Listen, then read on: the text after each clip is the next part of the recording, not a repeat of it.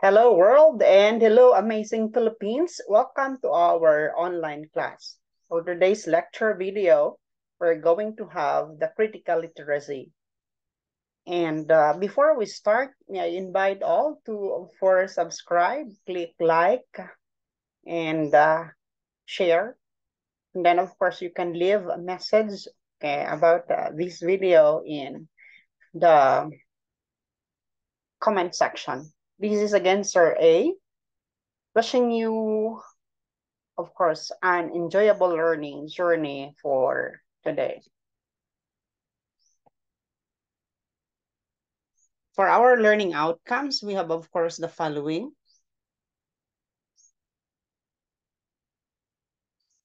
Number a, number one, rather, is defined, uh, of course, uh, critical literacy and related terms. We have described the background of critical literacy theory, then summarize, of course, the understanding and characterize the role of critical literacy and, of course, applied principles of critical literacy in designing lessons and classroom activities. Let's first, of course, have this okay, idea. Uh, that, of course, thinking critically is, of course, the new literacy of today. And I have here, of course, and probably an activity for you to think, okay? Uh, what texts have you been exposed to in okay, the 20, last 24 hours? And uh, the next question is that, what impact have those texts had on you? So probably now we receive a lot of messages or text message, okay, or whatever thing that we can have from our parents, our probably uh, loved ones. We have also from relatives and even friends. Okay, the question is, what impact have those texts had on you? Probably it has, of course, a great impact for all of us, depending on, okay, who probably messaged you and uh, so on. So that's it. Okay, let's have uh, the quotation that we can have here. Students today experience a constant stream of ideas and information, okay, online, in print, and through, of course, electronic games and mass media. As they move into the junior grades, of course, they encounter an ever-widening range of texts. They need, of course, skills to determine where to direct their attention and how to interpret messages and use the, them appropriately. So this is based on Ontario Ministry of Education. Okay, so this is very true. And uh, of course, if we're going to notice education today, and probably uh, the learning styles, even uh, the teaching styles are different compared to before. Okay. And uh, let's first, of course, define what is, of course, critical literacy.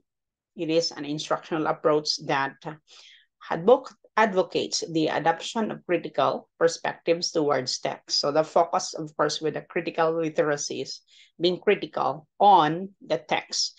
Okay, and Allan Luke refers to uh, refers to us, of course, a new face basic for navigating the text and media saturated world.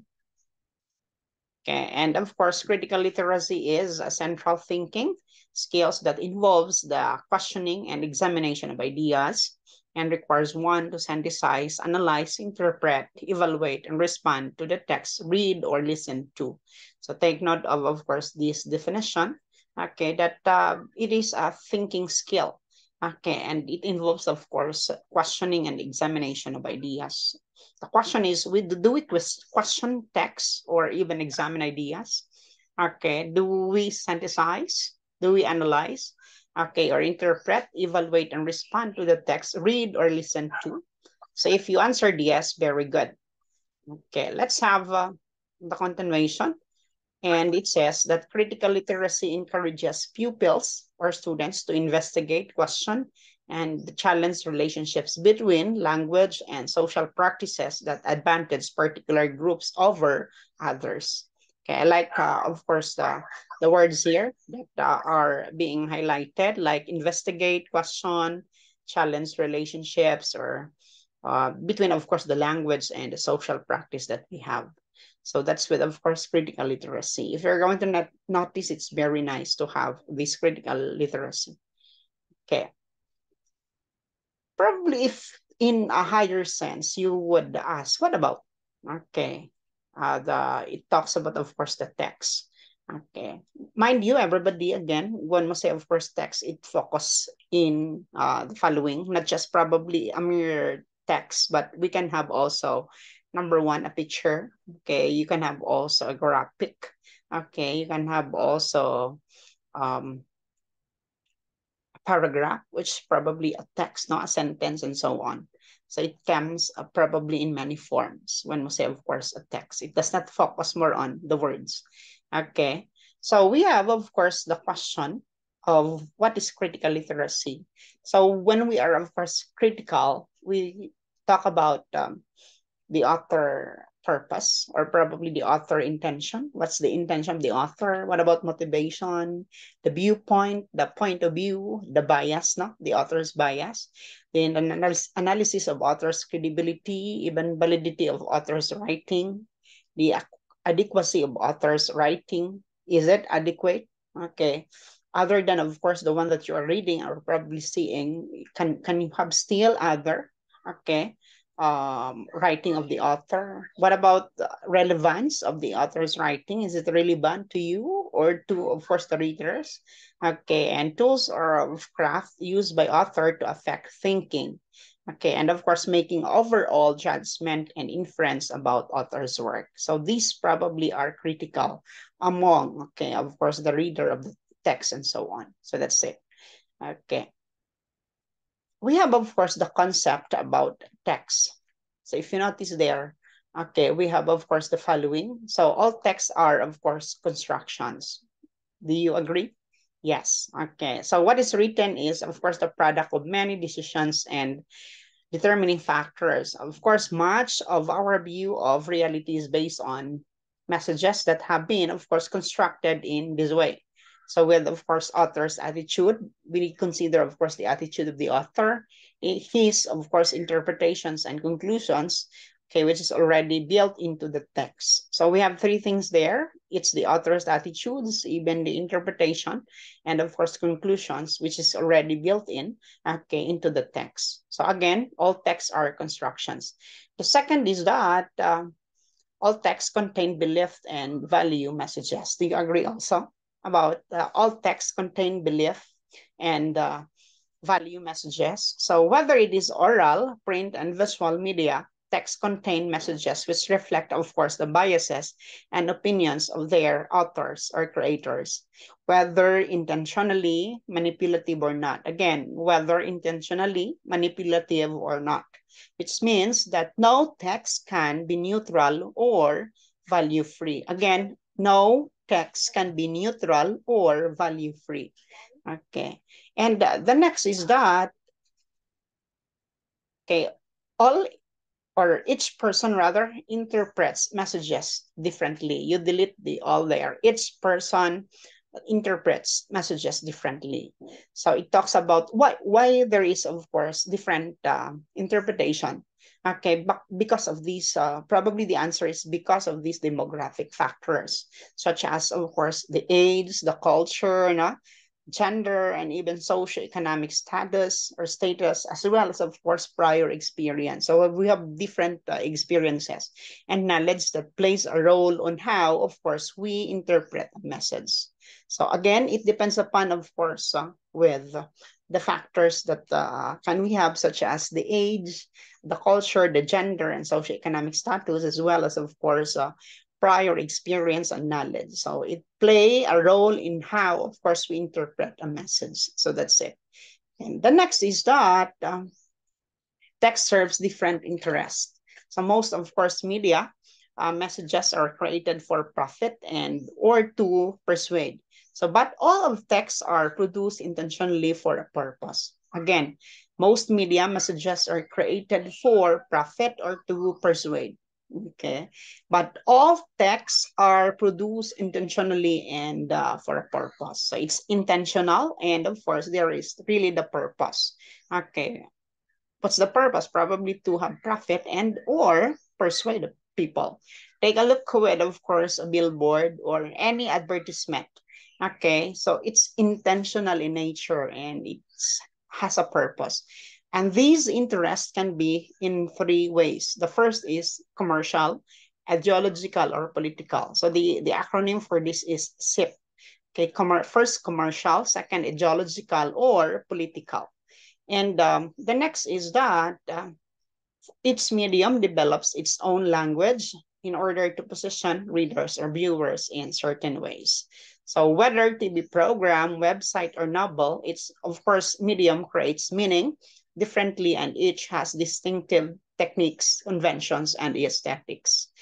Okay, again, um, its medium of course creates meaning differently and each has distinctive techniques, meaning um, unique, okay, techniques, even conventions, and aesthetics. When you say aesthetics class, it's beauty. Okay. Then we have, of course, this four, uh, Frank Serafini's four roles of the visual learner, or the four roles of the visual learner according to Dr. Frank Serafini. Okay, the first one is, of course, um, the first role is interpreter. So here, the learner is being asked, what is the producer or of this image or trying or text trying communicate to me or to, of course, the learner. And uh, of course, based on uh, the experience or my experience, what connections can I make to the image or text to better understand the message and how will I interpret the message? That's interpreter. The other, the second is um, role rather is navigator. So you ask, of course, what elements do I see in this image? Okay, or text. Okay, probably line, shape, pattern, texture, and color. So it talks about, of course, navigator. Then we have, of course, designer. Number three role is being a designer. So here, the question is that how can I use the, the structures or visual grammar, such as composition, perspective, and visual symbols to communicate a message or idea? Then lastly, of course, interrogator. So it's the, the former name of this, or this is actually previously known as the critical analyst. So here you answer what social or political or historical issues might be presented or interpreted through this image text. So what is, of course, the big idea presented in this image or text? Again, we have, of course, the four roles of the visual learner. The first is interpreter. Okay, then we have, of course, navigator. Number three or the third is designer. And number four, is interrogator. In acronym, we have, of course, in the in the I and DI.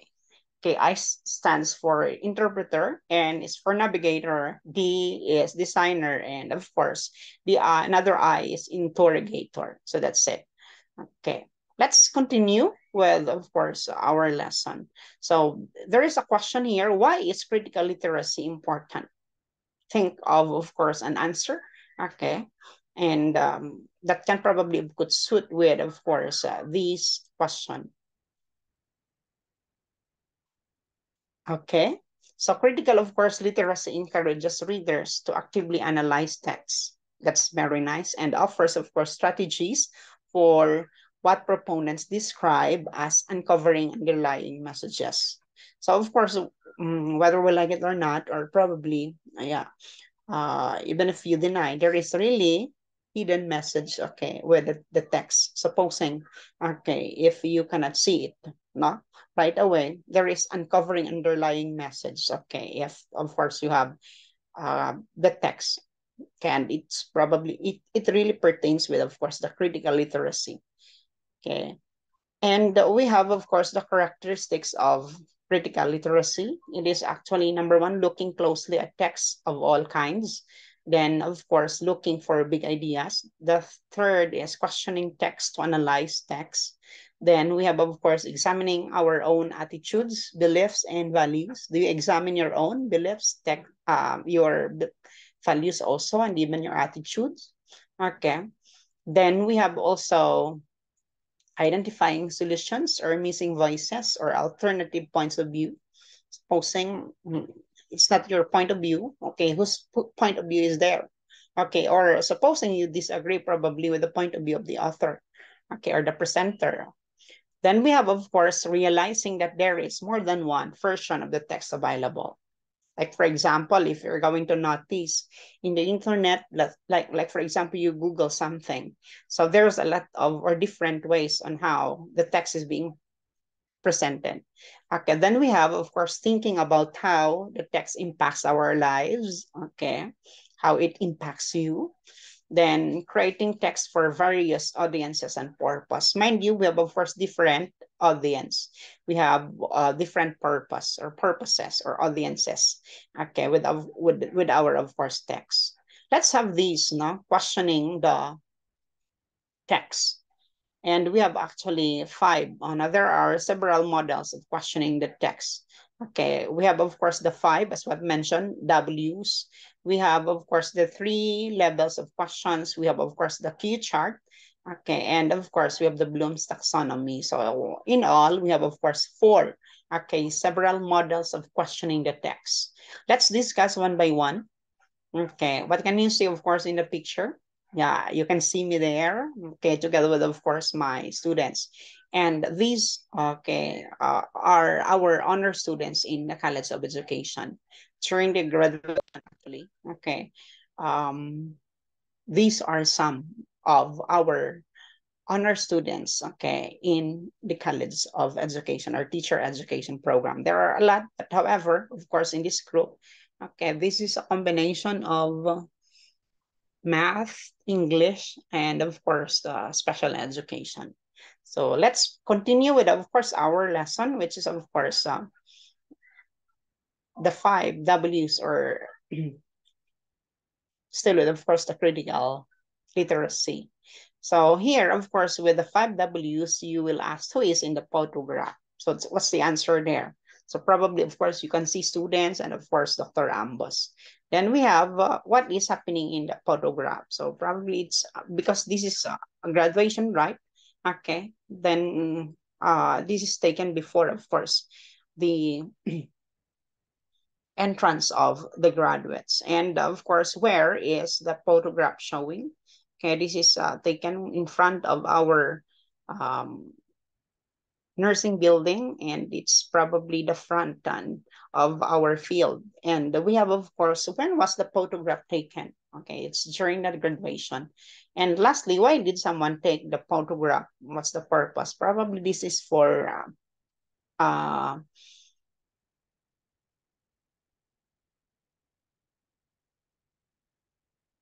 this is again this is of course for uh, memories, no, to cherish, no, memory. Okay, a good memory probably, or or we can have, of course, mm, something to keep. Okay, that's it. Again, uh, we have the who, what, uh, where, when, and of course why. So why is of course the reason, when is time, where is probably the location or the place, mm, what is happening. So probably the um, the event itself. And who is of course when when we say who okay talks about of course the people present there. Okay so that's it. Okay uh in the why again mm, why did someone take the photograph? Probably for remembrance purpose. Okay that's it. Let's have uh, the next which is of course the three levels of questions. So here you can see of course this picture. And um kindly take a look with the picture. What can you see Okay. So you can have, of course, a finger and, um, yeah, hand, uh, which probably, of course, uh, uh, you can see, of course, the finger, no? And uh, an ant. And there is a text there, the anti-bully. So this summer, it's crunch time. So that's it. So going back to the three levels of questioning, we are having, of course, as number one uh, is the literal or perceptual noticings. Okay, or the, these are the three other terms no, related to, okay, with number one, literal, perceptual, and of course, noticing. So you can have probably, what do you see or hear? Okay, then inferential, interpretive, interpretative, or interpretive rather. Okay, so what could it mean? So if supposing you can have this picture, what could it mean? So we need to probably stop anti-bullying. Okay, of course, um, or we need to stop rather bullying. Then we have evaluative or ideological, and the other one is implication. So question is, what are the intentions of this text? Okay, of course, to answer that, to, for us to be aware, okay, that there is bullying around, then how would the message change if some element were different? So probably if um, you cannot see ant there, it's a different thing. Okay. So again, the three levels of questionings are number one, the literal, perceptual, noticings. Then we have, of course, inferential or interpretive, evaluative, which is also known as ideological and implications. Okay, let's have looking at uh, looking closely at the text. So supposing this is the picture that you can see, there is um okay a person, okay, which is probably in hurry, and of course a clock. So what do you see or hear?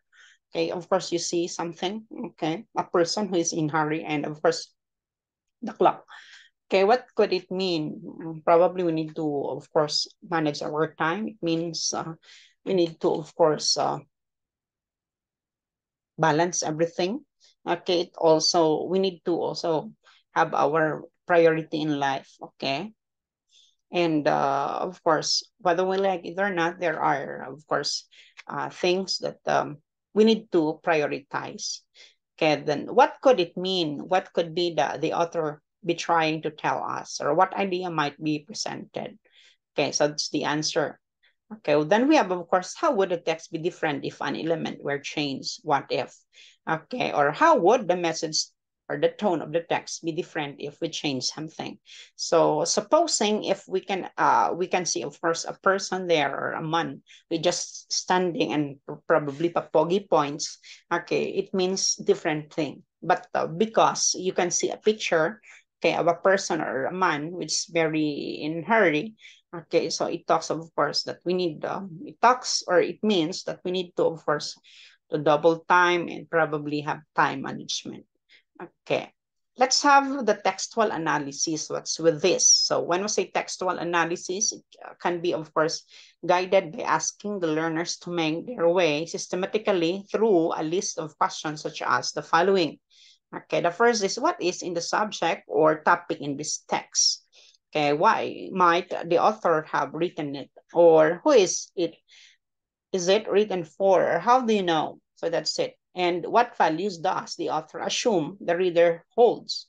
And how do you know? So this is with of course textual analysis. So you can of course ask questions okay systematically okay through of course uh, the one that you have seen with the text or with the picture. Next we have uh, the textual analysis also. Okay with of course the following question. What knowledge does the reader need to bring to the text in order to understand it okay, who would feel left out in this text and why? Okay, or who would feel that the claims made in this text or in the text clash with their own values, beliefs, or experiences? Or how is the reader positioned okay, in relation to the author? For example, a friend, as an opponent, no? Okay, uh, as someone who needs to be persuaded, as invisible, okay, as awesome, who agrees with, of course, the author's view. So these are, of course, uh, uh, in relation to how is the reader positioned in, the, in relation to the author.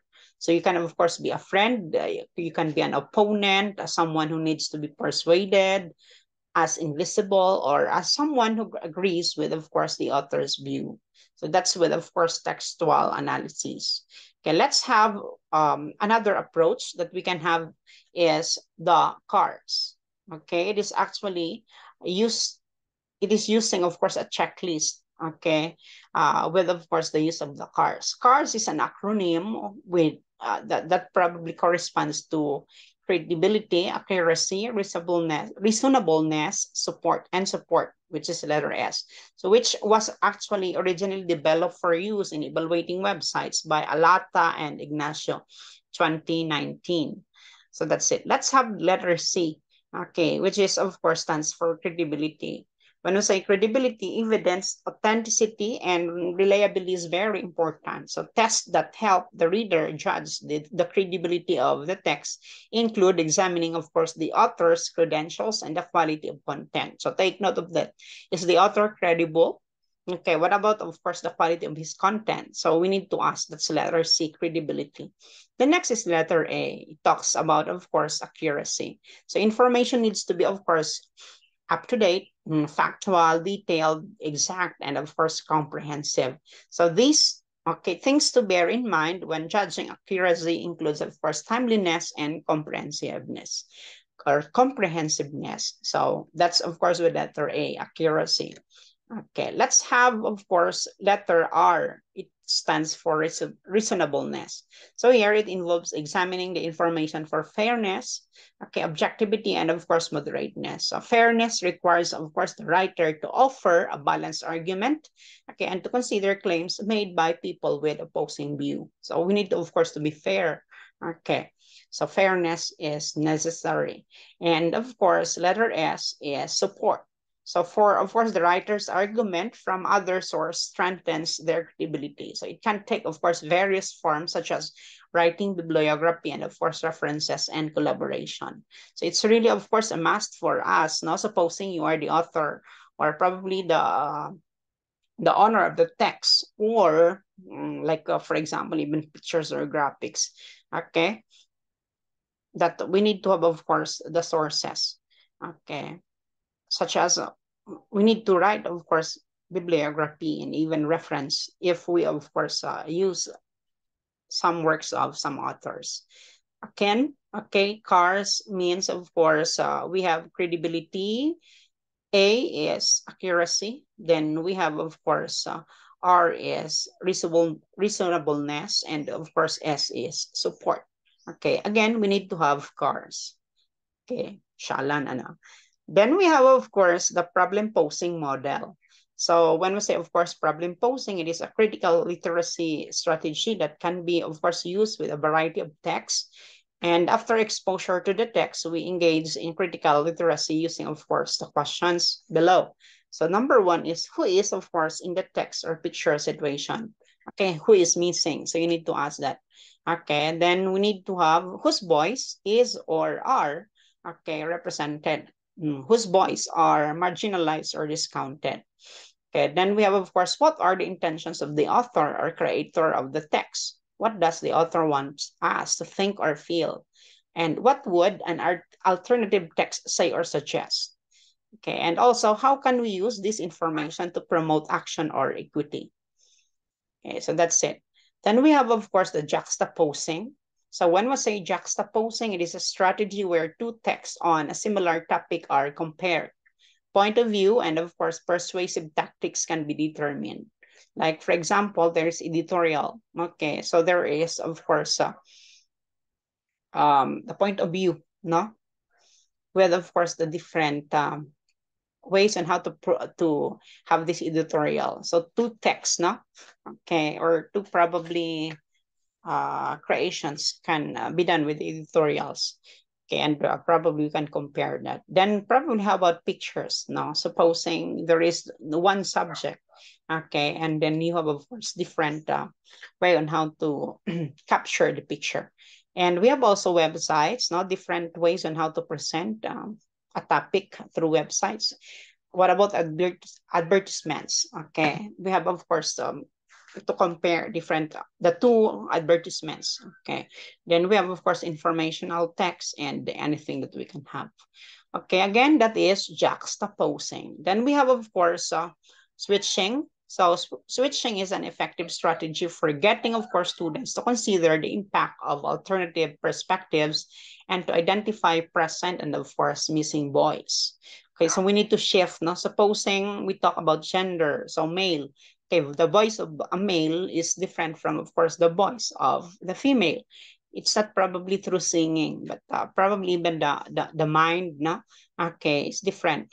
Okay, then we have, of course, body style. Supposing it's different perspective. For a sexy, okay, it's different from, of course, uh, the one supposing that you are Okay, uh, medyo malaki yung size. And then we have, of course, uh, the theme. Okay, so we talk about different themes. No? Supposing we change the theme for an event. Okay, so it's another probably. Okay, we switch. Okay, then clothing, for example. So for those who are chubby, of course, uh, clothing, okay, uh, is uh, probably hard compared to those who are slim. So if you wanted to buy clothes, nah, you, you can switch. Okay, also. And uh, the way we probably dress, no, there is a switching there. Then even ethnic and the culture, okay. There is, of course, the alternative, then emotion, supposing, and even relationship. We can switch with this. Okay, and even set up or the setting. So that's it. Okay, then we have, of course, the Q chart. So what's the Q chart? So uh, the Q chart is a control chart for uh, evaluating the stability of a process in terms of a quality score. So the quality score is the weighted sum of the count of events of various classifications where each classification is assigned a weight. So here, of course, you can see the, the Q chart. Okay, it's actually uh, it gives here, supposing you can see in the screen, okay, it gives a framework of creating questions. So start your question with a word from the first column and adverb from the top row. So the combination you choose will drive your questions your question. So for the purpose of, of course, research or whatever, so you should avoid creating questions that lie within the factual or analysis box on the Q chart. So these types of questions are usually easier to answer and do not and do not require thorough research sentences. So take a look with this. So in the Q chart, so for example, in factual, let's have what? Okay, so what is or what was or what um, uh, did probably not. You can have or when was or when okay did and so on. So if you notice there is correct answer that's factual. The other one is of course uh, prediction. So we use of course for example who will be the next president? Or when was or when can okay or when could you be here in the Philippines. So that's it, supposing that's the um, question. Okay, for analytical, why? So we have two questions here. No, WH. Okay, question. You have why was, okay, or why did you, or supposing, uh, why, where, okay, the following are blank, and so on. Next is, of course, how. How was, okay, or how did, or how where. Okay, so that's it. And the, last is, of course, synthesis and application. So we still have, of course, the two uh, WH question like uh, why will, okay, or why would, or why could, or how could rather, sorry, okay, or how can, or how might, and so on. So that's it. Again, we have, of course, four options here, factual, prediction, analytical, and synthesis, and of course, application. Okay, let's have, of course, the Bloom's taxonomy. So if you can see, this is the Bloom's taxonomy, wherein, of course, uh, um, there is the type of question. We have, of course, the lower order questions and the higher order questions, or probably we have, of course, the lots and the hots. Okay, so the type of question is divided into two. Okay, the first uh, group is, of course, with the lower questions or low, lower order questions. Like, for example, we have knowledge that is identifying or recalling okay, information. We have comprehension, organizing, okay, selecting and understanding facts and ideas, even application, which is applying known okay, facts, rules, and principles to new situations. So for, for example, of course, we use the following um, verbs in the question like uh, describe, identify, on uh, outline, recognize, or state for knowledge. Okay, we have example here. What uh, countries were allies of Britain during, of course, the World War II? Okay, so it, of course, talks about this uh, identify. Then we have, of course, comp comprehension. Okay, it's organizing, selecting, and understanding facts and ideas. And we use the following verbs. We have explain, okay, define, and summarize. So for example, what were the main causes of? So you need to explain, okay, or probably um, you can have the list, no? Okay, and for application, so we have, of course, the, the verbs such as compare, contrast, demonstrate. So it's more an application. So for example, how did Hitler demonstrate the qualities of the dictator? Okay. So in the the HOTS rather, the higher order questions, okay, we have analysis. It's taking information apart to understand more deeply. Okay, we have also synthesis, bringing different areas together to create new ideas. And of course, evaluation as making judgment or forming and defend, defending opinions. So we have, of course, here some verbs that can be used in, in analysis, like for example, analyze, interpret, inf and infer. Okay, we have also no uh, example for analysis, like for example, why did people follow Hitler so readily? Okay, with of course the synthesis, we have the following verbs such as create, predict, design, develop, devise, and solve. For example, what would happen if Hitler were, were in power today? Okay, masaya-saya siguro, ano? Okay, when, then we have, of course, evaluation. We have the following words such as evaluate, defend, judge, assess, validate, and of course, critic. Okay, so for example, was Canada justified in entering World War II? So that's it. Again, we have, of course, uh, the type of questions with the Bloom's taxonomy. Okay, we have, of course, the lower order questions and, of course, the higher order questions. So in uh, the classification with the lower order questions, we have knowledge, comprehension, application, wherein in the higher order questions, we have analysis, synthesis, and evaluation.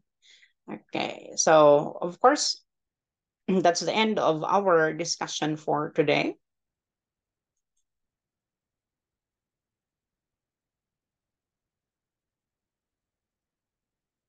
Okay, I hope you, of course, learned something from our discussions.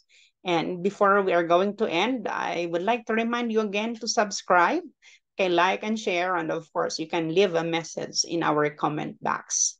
Okay, this is, of course, Sir A saying good day and God bless everybody. Bye-bye. Thank you.